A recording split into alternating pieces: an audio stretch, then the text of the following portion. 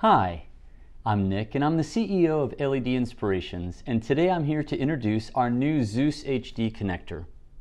What makes this connector so special are the gold-plated pogo pin contacts. These contacts are spring-loaded and they keep constant pressure on the circuit board.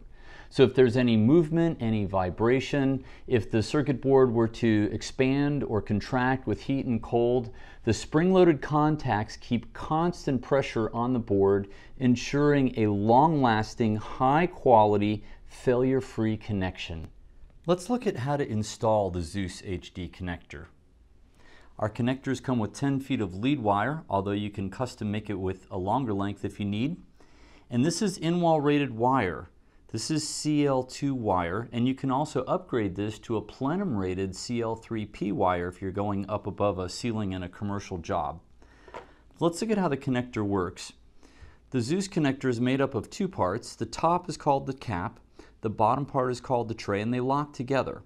So the first thing we need to do to open it is to unlock it. So I'm going to hold the wire firmly with my left hand, and I'm going to push back on the tray this way to unlock it. So when I push this back, you're going to hear a little click and then, it, and then the tray can open.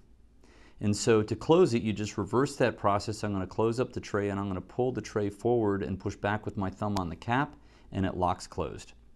So let's go ahead and open it and we're going to install some tape light in it. So we're going to open that up. Now our V5 products have polarity, which means you need to put the connector on the right end of the tape light. So if you hold the connector in your left hand and you hold the tape light in your right hand so you can read the words, then you know that it's oriented properly. When you do that, then these wires, the red wire will connect to plus 24 volts on the driver and the black wire will connect to minus 24 volts. Should you need to put the connector on the other end of the tape light, it'll work. You'll just need to reverse these wires on the driver. So let's go ahead and install this. We're going to pull back the red 3M VHB tape.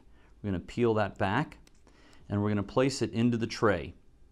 Notice the tray has a little bit of a stop and back and it's got these two wings to center the tape light in between. So I'm going to place the tape light in the, in the tray up against the stop and then I'm going to center it between the wings. I'm going to press down on it for a secure connection and then I'm going to close this down. I'm going to push the cap back and you might have heard it click in place. That is now a permanent connector installation.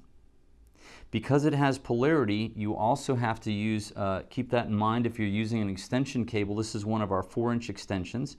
So if I were going to add on to this run using an extension cable, I would put this on this side and open up the connector and put it there. And then the next piece of tape light that would go on this end would also need to be oriented with the words in the upright position so that this would connect on here and then that would light as well. Thanks for watching. If you've got any questions, you can feel free to call us or just visit our website.